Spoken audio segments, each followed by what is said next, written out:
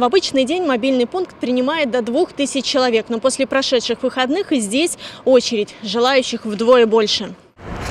Кто последний? Я вот переболела, просто не хочу второй раз болеть такой. Тяжело болели? Да. Мобильный пункт открывает двери в 10 утра. За полтора часа до этого уже занимает очередь. Кто-то не хочет долго ждать, кто-то не успел пройти вчера. Но у меня есть гипертония. Осознаете риски, но все равно это нужно сделать. Ну, я думаю, что да, потому что если даже будет инфекция какая-то и заболеешь, может быть, это более облегченно будет проходить болезнь. В очереди держатся стойко, провожая взглядом тех, кто уже спускается по лестнице и жалуются, что нет лавочек. Хотя еще на прошлой неделе врачи скучали в ожидании пациентов. Сын привился, да, он в Санкт-Петербурге, дочь в Москве тоже привилась, как бы, не потому что, значит, желание у них бежать, ставить.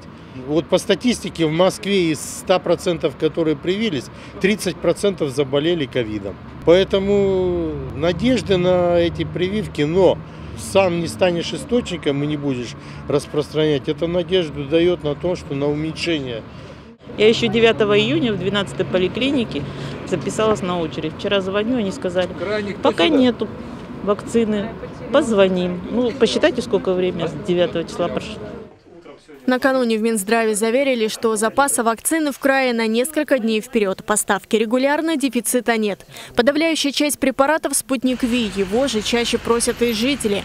Другое дело, что забронировать время вакцинирования в поликлинике сложно. Напуганные третьей волной поставить препарат стремятся многие и блокируют запись. А на какой ближайший день можно записаться на вакцину от коронавируса? На восьмое. На 8 июля. Да. На 6 июля ближайшая запись. Билет в Питер взял на самолет. Сказали, не выпустят, пока не привьешься. Спустя полтора часа работы мобильного пункта врачи рекомендуют пришедшим, не желающим ждать, идти в 14-ю поликлинику. С сегодняшнего дня и там вакцинируют в порядке очереди. И у нас здесь есть кабинет вакцинации. Сейчас идут э, люди сюда, ну, по какой-то причине, потому, по той, скорее всего, причине, что это было В2, а в какое-то время приходили прививаться в разы меньше людей. В связи с этим у нас медработник освободился, и мы перекинули э, сюда тех, кто, ну, может дойти сюда и желает, чтобы вне очереди побыстрее привиться. противопоказания пишем. Ну, это кто ОРЗой болеет. В основном онкологические, на химиотерапии.